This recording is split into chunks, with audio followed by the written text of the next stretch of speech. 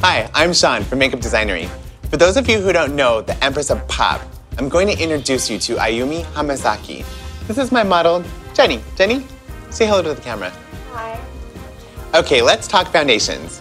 These are our two foundation palettes with a range of 16 colors, each one labeled according to their undertone and shade. Let's base match. By looking at the palette, I can see that YG1 is her best suit. Start from the top of the forehead.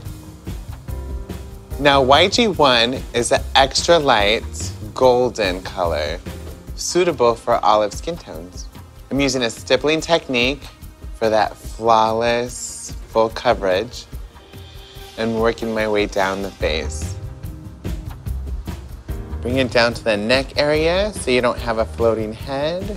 We're gonna base out the lips just a little and get right into the lash line.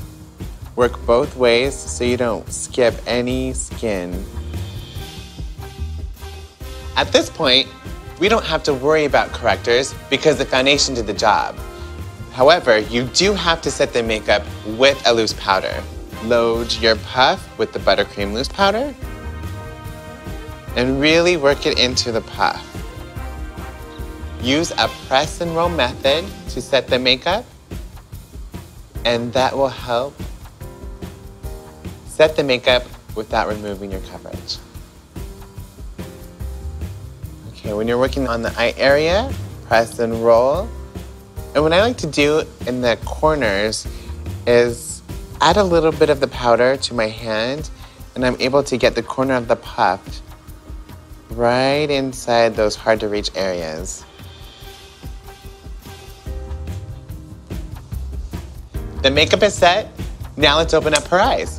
I've chosen the DCLA9, the 210 angle brush.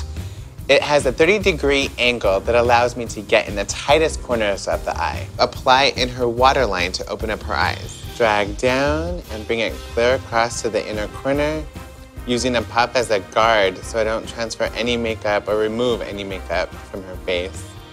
And then repeat on the other eye. Switch your brush over to the other side